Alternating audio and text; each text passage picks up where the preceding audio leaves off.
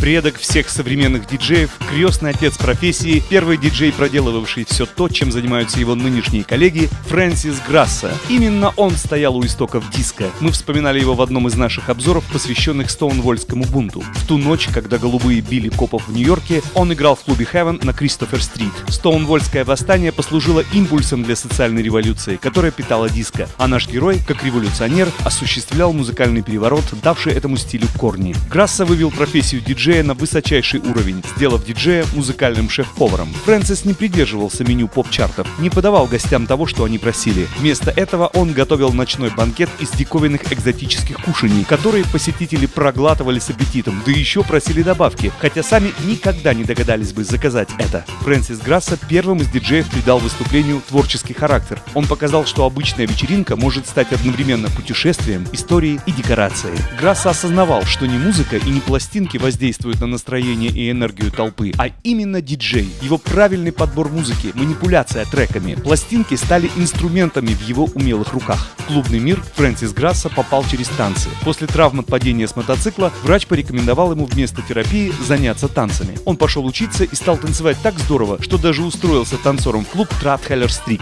После работы у него просто отваливались ноги. Никогда я еще так не трудился за 20 долларов, вспоминал потом Фрэнсис. Первый раз за вертушки он стал случайно, в 68 году в клубе Salvation 2, когда местный диджей Терри Ноуэль перед работой решил закинуться кислотой. Фрэнсис точно не помнит, какую именно пластинку он тогда поставил первой, но запомнил, что это было самое счастливое время в его жизни. Ему щедро заплатили, и он ушел домой, не веря в происходящее. Как танцор, я хорошо понимал, что именно нужно было ставить, чтобы народ не останавливался, вспоминал он. До меня никто толком не поддерживал единый ритм. Только-только народ разогреется, как вдруг диджеи ставили какую-нибудь балладу Элвиса Пресли. Это был полный облом, а я всегда держал публику на взводе. Музыка Грасса также отличалась от предшественников. Он любил более жесткое фанковое звучание и африканские ритмы. Его личной заставкой стал хит Майкла Аутлунджи «Dreams of Patience». Сейчас вы слышите звуки барабанов именно с этой пластинки. У Фрэнсиса Грасса была бурная молодость. Он встречался с Лайзой Минелли, дружил с Джимми Хендриксом, не говоря уже о его подружке, которая перебралась в его постель после смерти Джимми. Он перепробовал все существующие наркотики и в начале 80-х